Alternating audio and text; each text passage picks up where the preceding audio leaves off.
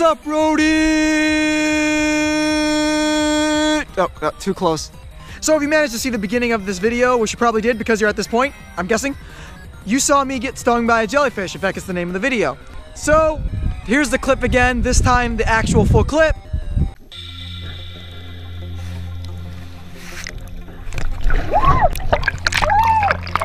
You're too slow!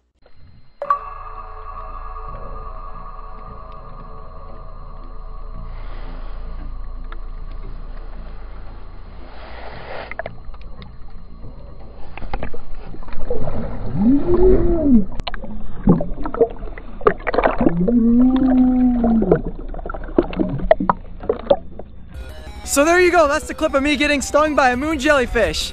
Fortunately, I wasn't in too much trouble. A moon jellyfish isn't that big of a deal. Getting stung by a man-o-war, then you're in trouble. Because man-o-wars can cause people to go in shock and a bunch of other crazy stuff, which...